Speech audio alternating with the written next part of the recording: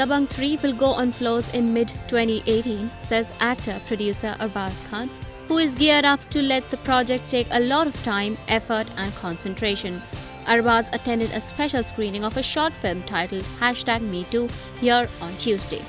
Asked if his production banner will focus on creating content for digital platform, Arbaz said, Yeah, as of now मेरा concentration मेरे production के ऊपर है जो मेरी अगली फिल्म है जो वो उस पर है बिकॉज़ मैं जब इन्वॉल्व होता हूँ तो आई थोड़ा सा मुझे समय चाहिए होता है, थोड़ा सा पर्सनल भी इन्वॉल्व होता हूँ। तो एक जो फ़िल्म मैं बना रहा हूँ, उसके बाद आई डू हैव प्लान्स के वेब सीरीज़ हो या डिजिटल प्लेटफॉर्म पे कुछ भी हो, वो मुझे करना है।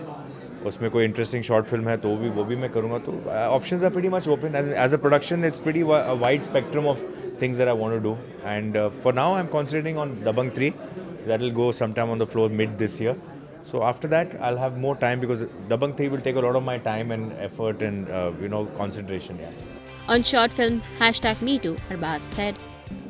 Interesting uh, film है शॉर्ट फ़िल्म है और uh, अभी एक बहुत ही हाल ही में जो बड़ा करंट टॉपिक है me too hashtag me too जो सोशल मीडिया पे काफ़ी हुआ है उसके रेलिवेंट है basically about women to come out in the open and talk about their experiences that they've had and uh, you know to not feel ashamed about what's happened and uh, to bring the people who have done stuff like that to expose them in that sense and not to be worried Arbaz also wished every woman on the occasion of International Women's Day, which falls on Thursday.